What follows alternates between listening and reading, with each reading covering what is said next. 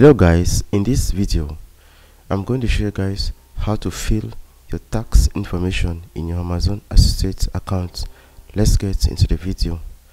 So the first thing is, that you simply need to log into your amazon associates account. But i already show a video on how to create your amazon associate account. So i'll be leaving the link in the description box below.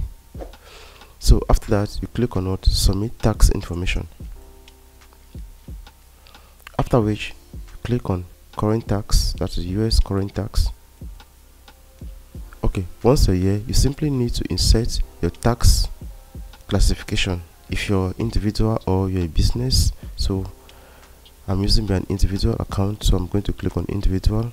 After which if you're a non-resident if you live in the US or you don't live in the US you simply need to insert it here that is yes or no. So I'm going to choose no so the next one also choose no. So make sure you read this out.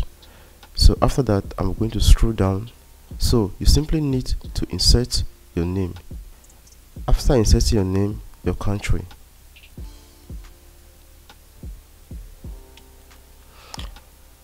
After that you simply need to insert your permanent address.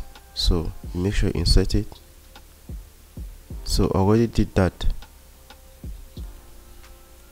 so after that if you have a tax identification number you simply need to insert it for non-US citizen. If you have one but if you if you are from US you can simply insert it here.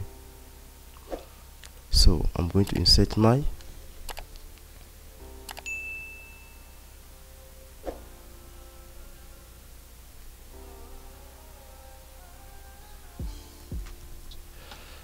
after which I'm going to click on what continue. So I'm going to click on the first one. Allow all services will be performed out of US so I'm going to check on that. So you make sure you read the other options.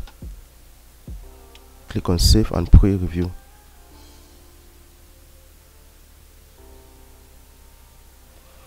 so guys that's it. We just successfully submitted our tax information so you simply need to insert your legit name here for your signature. Check on this box. You make sure you read this out. You scroll down. You click on what? Submit form.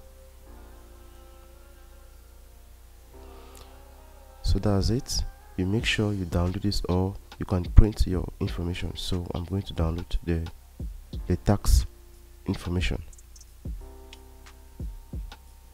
so guys thank you guys for watching. Don't forget to leave a comment in the comment section below. If you face any difficulty doing this we love you all. See you in our next tutorial.